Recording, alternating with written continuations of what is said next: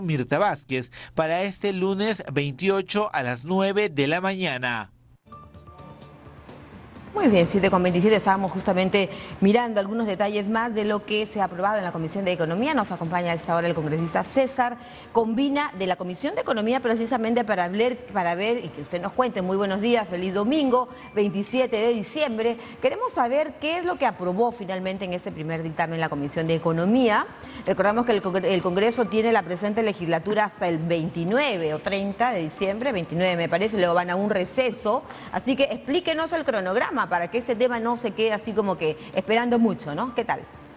Buenos días. Sí, efectivamente el día de ayer cumplimos dentro de, lo planificado una aprobación de un dictamen básico. ¿Por qué digo que un dictamen básico? Porque es un dictamen que sienta las bases para el desarrollo del régimen agrario.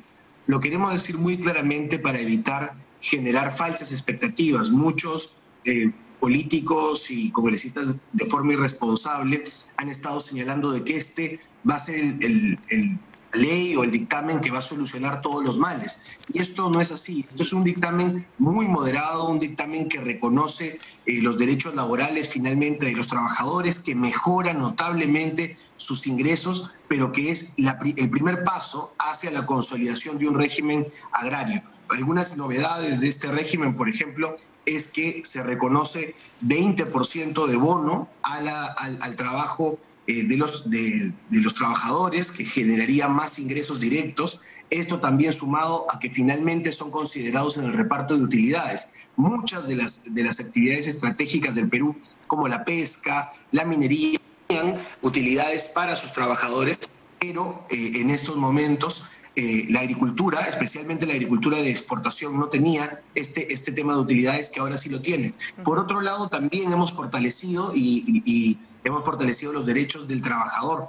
Por ejemplo, la, no, los hemos, no, hemos permitido que caigan en el periodo de carencia y de latencia, que era tan grave para el caso de salud y del CIS, en donde el trabajador muchas veces quedaba desprotegido del sector salud son mejoras que, que consisten en un nuevo piso social, en un nuevo piso económico para los trabajadores y espero que esto se apruebe el 28, porque el día de ayer en la noche la presidenta del Congreso ha convocado a sesión extraordinaria en donde espero toquemos este tema y podamos todas las bancadas responsables aprobarlo para dar tranquilidad al sector, tranquilidad a las familias de los trabajadores. Claro, señor Combina, qué interesante porque recordemos que la presidenta del Congreso les pidió a ustedes mantenerse, digamos, en sesión permanente o en constantes reuniones virtuales, ¿no es cierto?, para finalmente llegar a una salida, a una solución.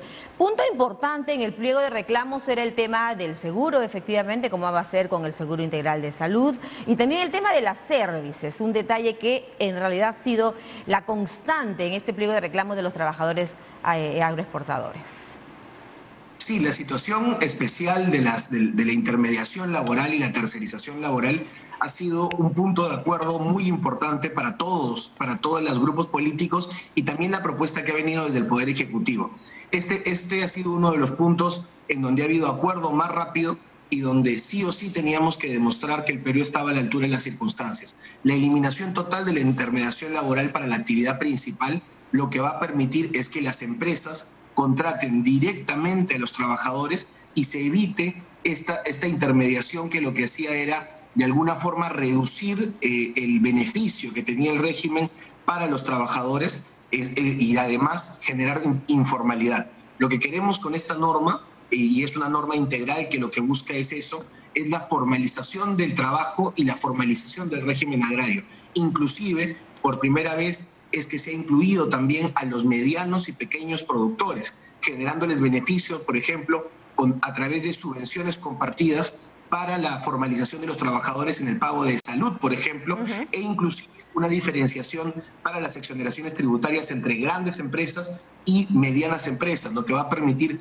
que muchas empresas que el día de hoy no estaban eh, eh, eh, siendo apoyadas por el régimen agrario con la nueva norma, sí van a terminar siendo apoyadas. Claro, más y, como yo le, sugeriría ahí, digamos, el término congresistas más que apoyados, reconocidos, ¿no?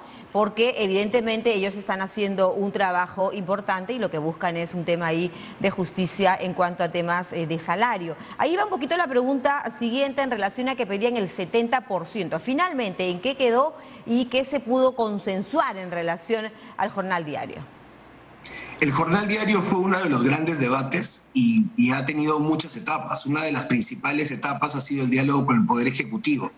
¿Por qué? Porque los parlamentarios hemos traído la voz de los trabajadores, eh, hemos participado en reuniones tanto en ICA, en Virú como en Piura, y esta, y esta voz, esta demanda, también tenía que ser eh, procesada de forma legal, para que no volvamos a caer en la inconstitucionalidad de las leyes, que ha sido uno de los problemas que ha tenido el Parlamento en los últimos meses.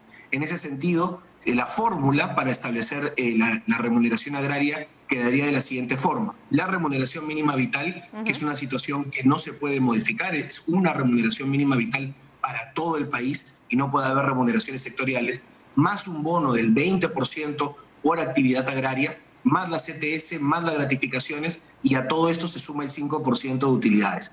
Hablamos de una mejora, eh, pero una mejora a través de una base. ¿Por qué vuelvo a repetir esto y lo, y lo seguiremos repitiendo constantemente? Porque hemos fortalecido el capítulo de negociación sindical. ¿Qué cosa quiere decir esto? Que a partir de que se apruebe esta norma, todos los trabajadores van a pasar a ganar más pero esta va a ser el piso para las demandas y la negociación de carácter en los subsectores. No es lo mismo trabajar en espárragos que trabajar en arándanos o trabajar en café o trabajar en banano orgánico. Y es allí donde el Ministerio de Trabajo, a partir del primero de enero, tiene un rol muy importante en fortalecer la sindicalización, la negociación colectiva y llegar a tratos entre trabajadores y empresarios que beneficien a cada uno de los subsectores. Qué bueno que el beneficio sea verdaderamente para todos estos sectores agropecuarios, agroexportadores. El papel de Sunafil finalmente tendrá, no sé, si mayores de pronto prerrogativas o se va a fortalecer su papel, ahora sí va a fiscalizar en serio. ¿Cómo va a ser? ¿Qué, qué se ha tratado de este punto que también es parte del reclamo? Tenemos aquí no solamente el papel de Sunafil, sino otros papeles y es por eso que tenemos que, a partir de la aprobación de esta norma, fortalecer un trabajo de fiscalización conjunta. SUNAFIL es muy importante para la fiscalización laboral. Nuestra, nuestra norma, nuestra propuesta de norma la involucra, la fortalece y queremos además hacer un llamado público al Poder Ejecutivo para que en Ica, en La Libertad y en Piura, donde se desarrolla la mayor cantidad de, eh, sector de la agroexportación, podamos tener una fiscalización real.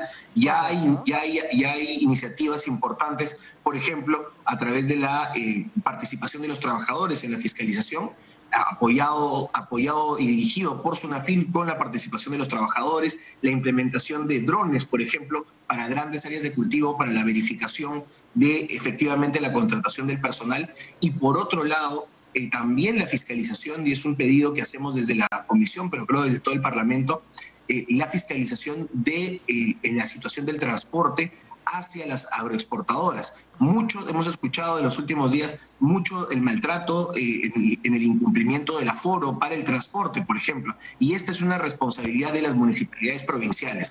En este, en este nuevo pacto que tenemos por la agricultura, tenemos que participar todos, desde el Poder Ejecutivo, el Congreso, SUNAFIL y también los gobiernos regionales y locales para garantizar que la ley finalmente se cumpla y luchemos contra el principal enemigo del Perú, que es la informalidad. Qué bueno, qué bueno, congresista, combina que ese sea el espíritu del debate, del análisis y del consenso que debemos esperar del Congreso de la República. Y para finalizar, al momento que ha podido usted conocer respecto de lo que señaló el titular del Interior en relación allá al retiro, ¿no es cierto? ¿La situación vuelve a la calma o no? Porque hasta ayer hemos visto eh, complicada el tema en, por ejemplo, carreteras hacia Ica, en el norte del país también. Hemos visto lo que estamos en este instante recreando precisamente en la pantalla de TV Perú, 7 con 36 minutos de la mañana y para todo el país, porque eh, definitivamente esto es el reflejo eh, de lo que aún, digamos, no se podía solucionar en cuanto al debate. ¿Cómo cambia este panorama respecto de lo que ustedes van solucionando en el Parlamento Nacional, en la Comisión de Economía, por lo pronto?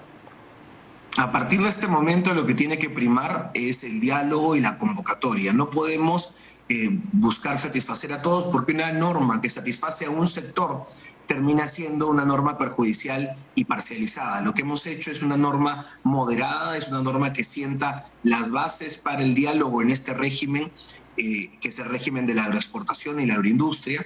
En ese sentido, el trabajo que el día de hoy tiene el Poder Ejecutivo, y creo que al no, al, haber sido parte de esta norma, del diálogo y de la, elaboración de esta norma, no va a haber un entrampamiento a nivel de observación, sino más bien el trabajo que tiene el Poder Ejecutivo el día de hoy es eh, promover el diálogo, promover que se entienda lo que se ha querido en esta norma, que es una norma base, que no va a dejar satisfecho a todo el mundo, pero que sí tiene que convocarnos hacia una unidad y hacia una paz social tan necesaria eh, a fin de año, pero sobre todo tan necesaria para restablecernos de una crisis aguda como la que estamos viviendo a nivel económico y a nivel de salud. Llamar eh, a todos los dirigentes de la zona de Ica, de la zona del norte del Perú, a sentarnos y a seguir trabajando por el Perú en unidad y sobre todo en paz social. Qué bueno, qué bueno congresista, más aún porque muchos lo perciben ya como un tema no coyuntural, ¿ah? sino estructural, así que ahí hay que ponerle mano firme. Finalmente, la invitación es este lunes, entiendo, la citación, perdón, de la presidencia del Congreso, hora, hora y fecha para la decisión de este dictamen congresista. Bueno, se está convocando a, sesión extraordinaria para el día 28 a las 9 de la mañana. Vamos a poner este tema como primer tema de agenda y yo le pediría a toda la población que esté expectante, que, que intentemos todos eh, escuchar el debate, un debate que espero no caiga en los populismos, no caiga en el radicalismo, sino caiga en lo mejor para que podamos ganar todos. Aquí no solamente está en juego la agroindustria, no solamente está en juego el empleo de millones de peruanos de forma directa y de forma indirecta, sino está en juego el desarrollo del Perú. Generando industria, generando progreso y generando trabajo formal, ganamos todos. Y ese es el mensaje que quiere llevar el Parlamento el día lunes. Bien, congresista, entonces el lunes estaremos al tanto. Usted nos ha invitado ahí a estar muy al pendiente, muy gentil por este contacto al congresista César Combina, integrante de la Comisión de Economía del Congreso de la República. Muchas gracias, que tenga usted un buen domingo. Nos ha contado respecto del avance al interior de la Comisión de Economía y el lunes